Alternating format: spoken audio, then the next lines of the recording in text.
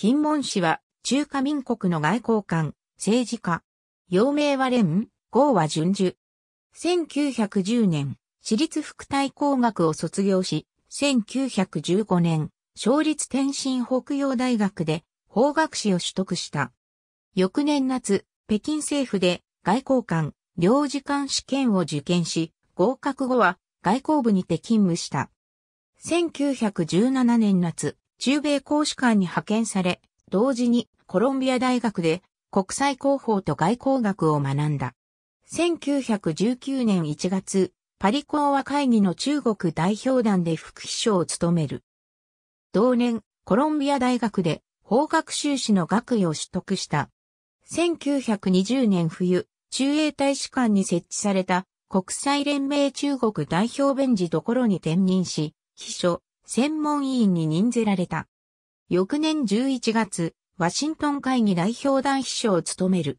1922年2月に帰国し、北京政府の財政部で関税問題を専門的に取り扱う。間もなく外交部に復帰し、通商し、税価課長などを務めた。以後、ただし弁中に若会議事を、関税特別会議委員会議案どころパン弁、外交部議事どころパン弁、外交部検事などを歴任している。1927年7月、上海特別市政府選任参議に任ぜられ、以後、国民政府に転じることになる。翌年3月、外交部第一市市長に任ぜられ、翌月、中チャンス交渉員となった。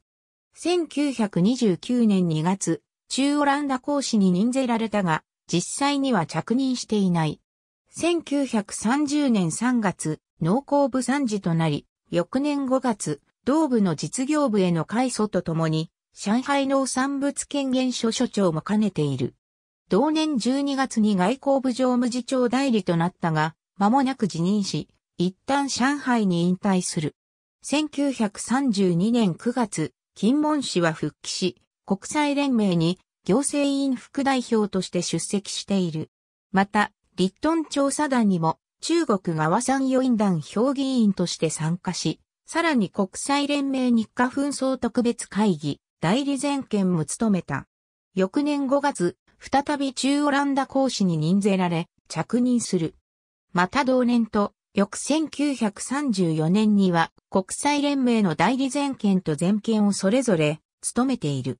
1940年5月、ドイツ軍のオランダ侵攻に伴い、金門氏はジュネーブに逃れて退命した。1941年5月、政府の命により、ロンドンに赴き、オランダ大使とベルギー大使代理の事務を取り扱う。後にチェコとポーランドの公使事務も代理兼任した。1943年2月、オランダとの外交関係が公使から大使に昇格したことに伴い、金が引き続き大使となる。翌年9月には、中ベルギー、ノルウェー、チェコ大使についても昇格あるいは兼任となった。1945年3月よりベルギー大使専任となったが、他国の大使事務についても暫時代理している。戦後の1946年4月に、金門氏はベルギー大使の地位のまま、パリ和平会議中国代表団副代表を務めた。同年9月には、国連ギリシャ国境紛争調査団中国代表団団長となっている。1948年、関税及び貿易に関する一般協定のジュネーブラウンドに中国代表団団長として参加した。翌1949年1月、中ルクセンブルク公使を兼任する。国民政府が台湾に逃れた後も、金門氏は引き続き大使、公使の地位にあったが、1955年6月に中ベルギー大使を1959年3月に中ルクセンブルク公使をそれぞれ辞任した。以後、アメリカに渡り、ニューヨークやワシントン DC で環居している。1968年4月12日、ワシントン DC にて死去。去年77。中国予国際連盟など、中華民国外交に関連する著書、回顧録を残している。ありがとうございます。